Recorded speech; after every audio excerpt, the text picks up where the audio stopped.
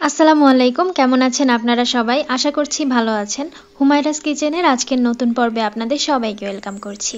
আমি আজকে আপনাদের সাথে পাউরুটি আর আলু দিয়ে ভীষণ মজার বিকেলবেলার নাস্তার রেসিপি শেয়ার করব।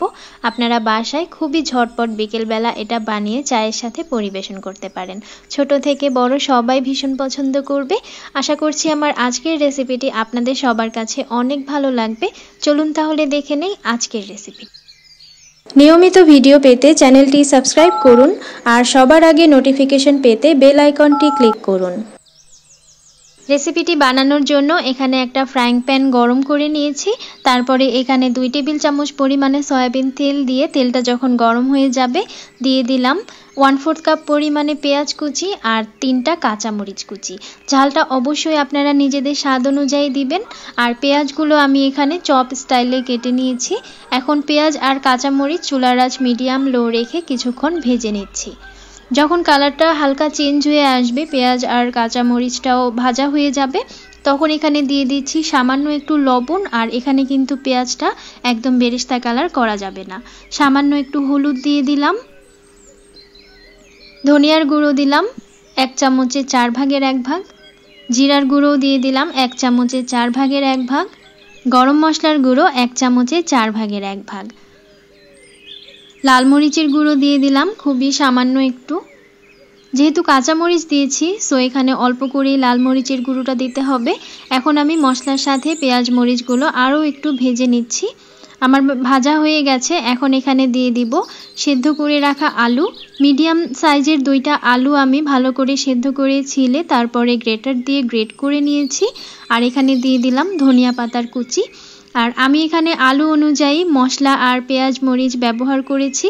আপনারা যদি কম বা বেশি নেন আলু, সেক্ষেত্রে বাকি উপকরণগুলো বাড়িয়ে বা কমিয়ে দিবেন। এখন আমি এটা খুব ভালো করে মিক্স করে নিচ্ছি।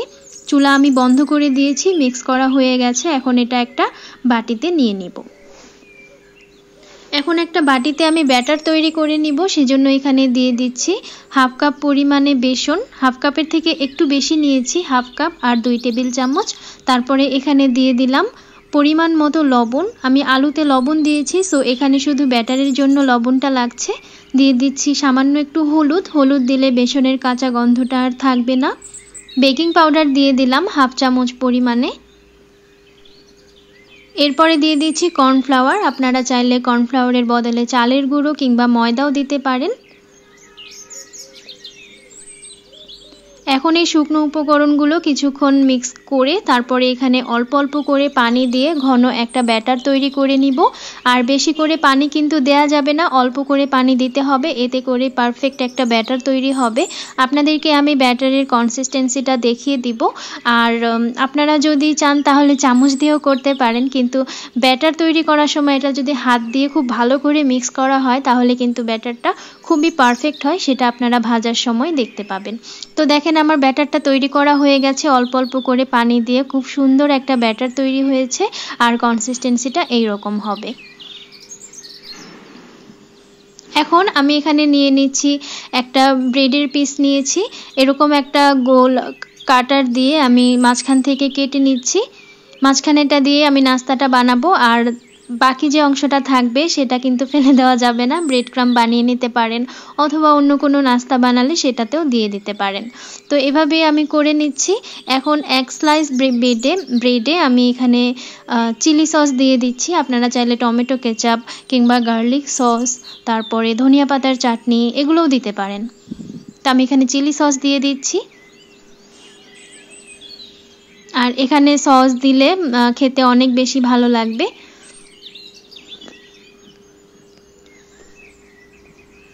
দেয়া হয়ে গেছে। এখন এখানে আমি দিয়ে দিব আলুর দিয়ে যে মিশ্রণটা বানালাম, সেটা দিয়ে দিব পরিমাণ মতো। তবে একটু বেশি করে দিব আমি, এতে করে খেতে ভালো লাগবে। ব্রেডের সাথে আলুর এই মিশ্রণটা খেতে অনেক ভালো লাগবে নাস্তাটা বানানোর পরে। আর এরকম আরও অনেক মজার মজার নাস্তার রেসিপি আমার চ্যানেলে দেয়া আছে।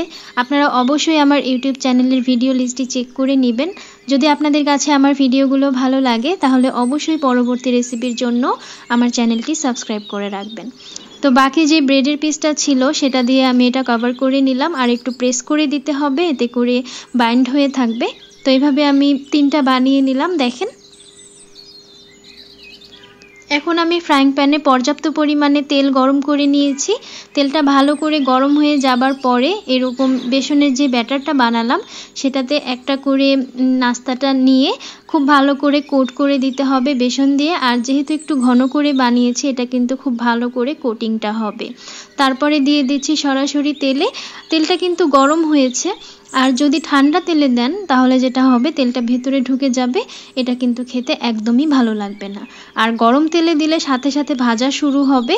তখন দেখা যাবে যে তেলটা উপর থেকেই নাস্তাটা ভাজা হয়েছে, তেল ভেতরে ঢুকেনি, তখন কিন্তু খেতে অনেক ভালো লাগবে।